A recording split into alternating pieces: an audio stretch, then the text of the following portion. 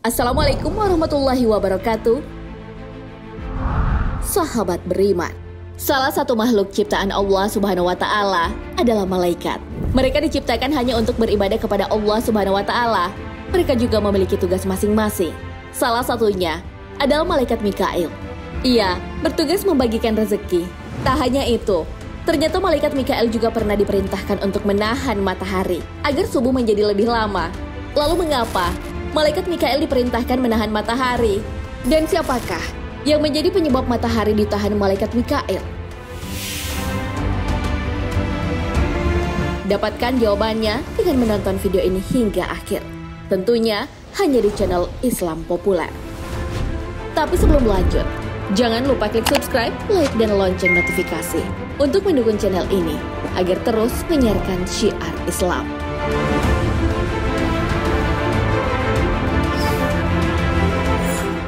Hormatnya Sayyidina Ali radhiyallahu an pada orang tua. Kitab Al-Mawaizul Usfuriyah, Syekh Muhammad bin Abu Bakar Usfuri, menceritakan tentang Ali bin Abi Thalib yang sangat menghormati orang tua. Hal inilah yang membuat Allah Subhanahu wa taala memerintahkan malaikat Mikael untuk menahan matahari. Sayyidina Ali radhiyallahu an bergegas menuju masjid untuk melaksanakan sholat subuh berjamaah. Namun dalam perjalanan, Beliau bertemu dengan orang tua yang berjalan dengan pelan-pelan karena sangat menghormati orang yang sudah tua. Sayyidina Ali tetap berjalan di belakang orang tua yang sudah beruban itu. Beliau tak mau mendahului orang tua tersebut. Kakek tua rentah itu sampai di pintu masjid tapi tidak masuk. Sayyidina Ali pun berpikiran bahwa orang tua tersebut Nasrani Beliau lalu bergegas masuk dan mendapati Rasulullah Shallallahu Alaihi Wasallam telah rukuk. Nabi Shallallahu Alaihi Wasallam pun memanjangkan rukuknya seukuran dua kali rukuk sehingga Ali masih mendapati beliau. Setelah sholat, Sayyidina Ali pun menanyakan alasan Nabi Muhammad Shallallahu Alaihi Wasallam memanjangkan rukuknya. Nabi Shallallahu Alaihi Wasallam pun menjawab, ketika aku ruku seperti biasanya, lalu aku hendak mengangkat kepalaku, datanglah malaikat Jibril alaihissalam dan meletakkan sayapnya di atas punggungku. Dia menahanku agak lama. Ketika dia mengangkat sayapnya, barulah aku mengangkat kepalaku. Para sahabat pun penasaran alasan Jibril melakukan hal tersebut. Jibril alaihissalam pun datang dan memberitahu Rasulullah shallallahu alaihi wasallam, "Wahai Muhammad, sesungguhnya Ali bergegas untuk berjamaah. Kemudian di perjalanan dia bertemu orang tua renta Nasrani. Sedangkan Ali belum tahu kalau dia orang tua renta adalah orang Nasrani.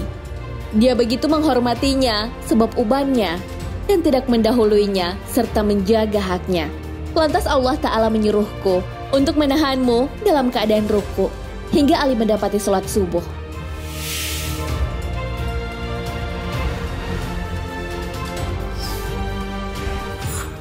Malaikat Mikail menahan matahari.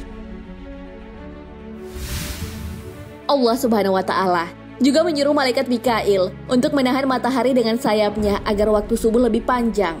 Hal itu dilakukan karena Sayyidina Ali. Keistimewaan ini diberikan Allah Subhanahu wa taala karena hormatnya beliau kepada orang tua walaupun dia adalah orang Nasrani. Malaikat Jibril dan Mikail adalah dua malaikat yang berperan penting di langit. Hal ini sesuai hadis. Sesungguhnya Allah menguatkanku dengan empat pembantu, dua dari penduduk langit yaitu Jibril dan Mikail, dan dari penduduk bumi, yaitu Abu Bakar dan Umar. Hadis riwayat Ibnu Abbas.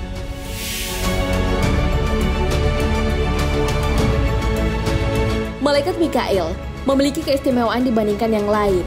Salah satunya, namanya diabadikan dalam Al-Quran. Hal ini sesuai firman Allah Subhanahu wa Ta'ala. Barang siapa yang menjadi musuh Allah, malaikat-malaikatnya, rasul-rasulnya, Jibril dan Mikail, maka sesungguhnya Allah adalah musuh orang-orang kafir. Al-Quran Surah Al-Baqarah ayat 98 Tidak semua nama malaikat disebutkan di dalam Al-Quran. Rasulullah Shallallahu Alaihi Wasallam juga pernah mempertanyakan tentang Mikael kepada Jibril. Hal ini sesuai hadis. Mengapa saya tidak pernah melihat Mikael tersenyum? Jibril menjawab, Mikael tidak lagi tersenyum sejak neraka diciptakan. Hadis riwayat Ahmad.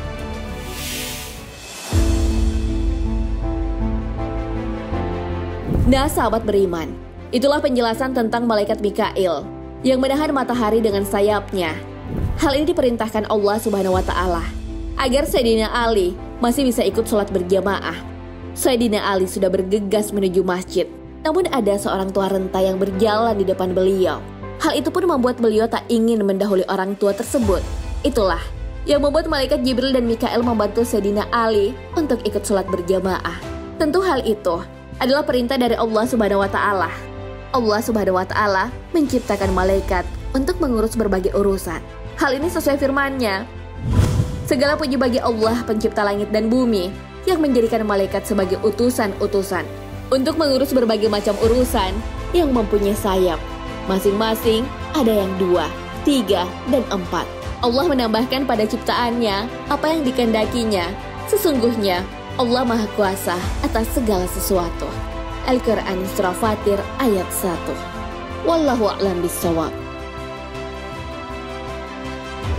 Sahabat beriman, jangan lupa berbagi informasi dengan share video ini karena sebaik-baik manusia adalah paling bermanfaat bagi manusia. Wassalamualaikum warahmatullahi wabarakatuh.